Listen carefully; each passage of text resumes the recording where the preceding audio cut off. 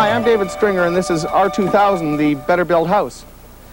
Over the course of the series, we've been looking at the importance of controlling air, heat, and moisture flows throughout a structure, and in particular, how those issues affect the design of an energy-efficient house. In the last few programs, we've focused our attention on the foundations and basements in R2000 houses. They're comfortable and efficient and built with particular care and attention to three things. Here they come. We've seen how moisture problems in house basements and foundations are reduced by good drainage practices, such as damp proofing and vapor barrier materials. We've shown that carefully installed insulation over the foundation walls, and in some cases even under the floor slab, will result in improved comfort levels. And finally, how air leakage into and out of the house can be controlled usually by installing a well-sealed air vapor barrier. In this program, we're going to look at how those same three principles affect the design and construction of above-grade walls. I'm going to go find Oliver.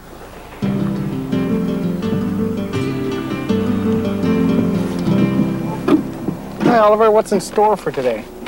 Well, today, David, we're going to look at designing and building walls and at different framing systems and how they go together. Well, before you get me lost in the maze of 2x4s and 2x6s, what are the key issues? Well, primarily construction sequencing and costs. You've got to appreciate that it's a lot of aggravation for a builder just to keep it all together when constructing a whole bunch of houses. And anything that's going to make his job more difficult is something he really doesn't want to know about. So we have to ensure that the things that we're trying to accomplish are fairly easy to do. And let's look at what those are. We want to have a higher level of insulation in the walls. Depending on where you are in North America, it could be as high as R40. We want to have a continuous air barrier, and we want to have a continuous vapor barrier. And we want to make sure that those go in the wall as simply as possible. Mm, I guess each builder is going to have different questions to answer in his own way. Is that the way that works? That's exactly right. What we're looking for is the type of crew that the individual runs, the type of client they have, their location. Take, for example, a bungalow. If you're framing a bungalow double stud construction, it's a very simple proposition. If you're framing a two-story building with bay windows on it, lots of cantilevers, that kind of thing, it could be very difficult. What kind of system do you prefer? Well, it's hard to answer because we've done just about all the various systems that are out there. Nonetheless, it depends on all these variables as to which system you'd select. Well, you're the experienced R2000 builder. Why can't we just follow you around and do what you do, right? Well, I think what we ought to do probably is review the types of alternatives available to us. There are essentially four different framing techniques, and why don't we go over them one by one? Conventional wall construction can be improved by either adding insulation to the exterior of the house with an insulating sheathing or to the interior using a cross-strapping technique. Of course, you can do both at the same time. Alternatively, a secondary wall can be built and located either on the inside or the outside of the main structural wall. This approach is commonly referred to as double wall construction. A third approach, truss wall construction, involves hanging a separate wall outside of the house structural wall using either wall trusses or a similar standoff wall system. More recently, we're seeing the use of prefabricated or factory manufactured wall systems, which come to the site in full sections with the insulation already in place. That's an awful lot of options. Where do we start? Well, we're going to start by looking at upgrading single stud construction, which is what you see here. This builder has already done some upgrading in that he's gone to 2 by 6 but I think I can demonstrate this best to you outside. Okay.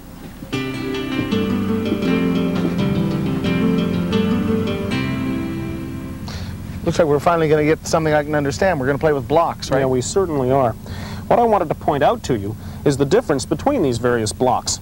This is a 2 by 4 that's a 2 by 6 Can you guess? It's a 2 by 8 Now what we're going to find is that most of the framing that takes place in a single stud wall is going to be done with 2 by 6 You can get a not so bad wall with a 2 by 4 but you have to really pack the sheathing to it on the outside or else do something to it on the interior or else use a very, very expensive insulation material in order to get high R values out of it.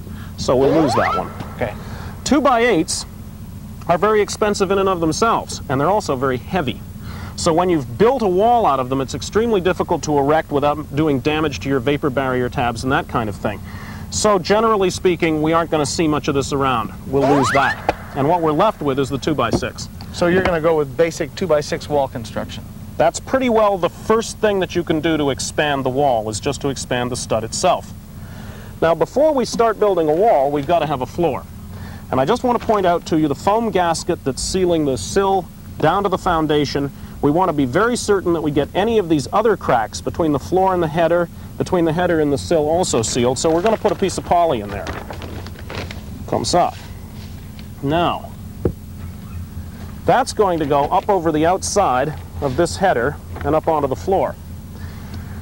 The difficulty with this is that we've already violated the one-thirds, two-thirds rule. We've just taken a membrane and carried it to the outside of our house and back up onto the floor. What we're after is this little tab of poly that's going to be in the inside to connect the main vapor barrier to. Okay, but in a nutshell, this is a vapor barrier and you don't want to chill it Right. on the outside. So we're going to have to deal with that before we're finished with this model. Can you hold that up there for me? Sure. me? Here we've got a 2 by 6 which we'll call a bottom plate. That's going to be sitting right in there. And you're going to wind up with studs that are sitting on top of that wall. That would be an outside stud. Okay. Now those studs would, in 2x4 construction, be on 16-inch centers. What we want to do is expand them to 2-foot centers, which leaves us with just as much strength in the wall, but reduces the amount of thermal bridging. And remember, we've still got to deal with this. What you can do, if you want, is use a 2x4 bottom plate instead of a 2x6 bottom plate, and then take the stud and allow it to hang over the exterior of the header. That enables us to go in with an insulative material on the outside to keep that vapor barrier warm, and then still put an insulative sheathing up the outside of the studs. Well, what kind of sheathings are you going to use? Do you, are you stuck with this rigid board? Well, it's actually a very, very difficult decision for a builder to make. There's a, there are a wide variety of materials on the market. This particular one is extruded polystyrene. There's also an expanded polystyrene. I've got a sample here of a urethane board, which is also used for the same kind of thing. And this one is interesting because it's a fiber. Now the fiber, the choice is really going to be based on what comes on after it. The fiber is obviously somewhat softer than these foams are. But what's important here is the fact that it comes with a Tyvek wrap already on this particular fiber product, which is going to be taped at the joints and give us a really good wind barrier on the outside of the wall as well. Now, that wind barrier is to prevent uh, air moving through the, not just the material on the outside, but the rest of the wall assembly. It protects the entire. Right. Now, with, with especially that kind of a sheathing material, it's replacing plywood. You used to have plywood on the outside of a wall. What do you do for, you know, strength that way? Well, racking strength in plywood is, of course, very great. But we find that if you're not using the plywood on the exterior, because you're trying to use a product that has a higher R value, you simply put in diagonal bracing to ensure that you get the racking strength that you require. So you might, for example, if you have a 2x6 wall, see a builder putting a 2x4 block in there, letting in a brace, or alternatively, there's a steel brace that can be used that just sits into a saw kerf. Okay, so there are a variety of ways you go about sheathing, but basically the idea here, the basic idea is to get some R value on the outside of the wall where you really had nothing because there was plywood.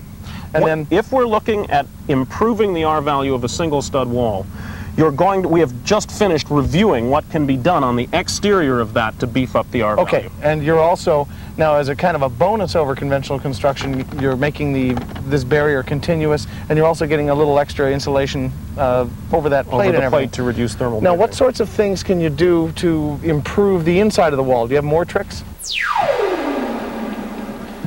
So you've uh, brought me all this way to look at a couple of 2x2s nailed onto an ordinary wall, right? a little bit more complicated than that.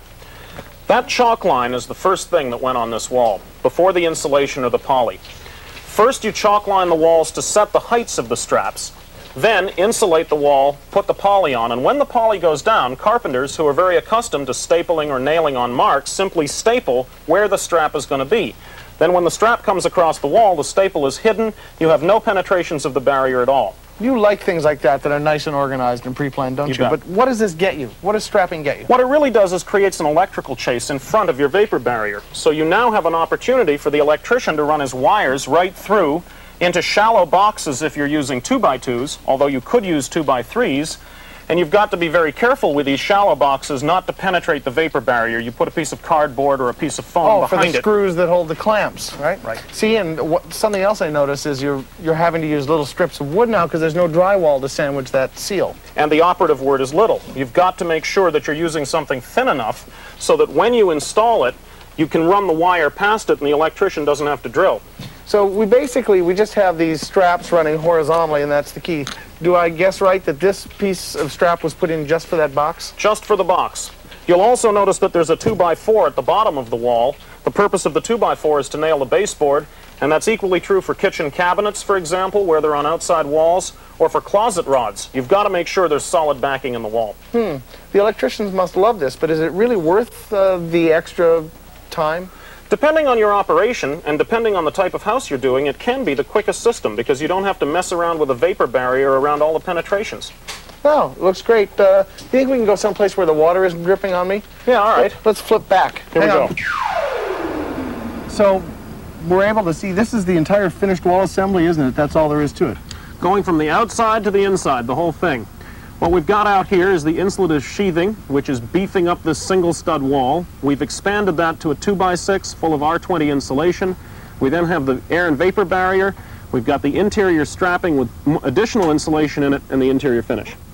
Well, it's kind of impressive. It seems to me, correct me if I'm wrong, but this is all pretty straightforward, the, the changes that you're making to the single stud wall, aren't they?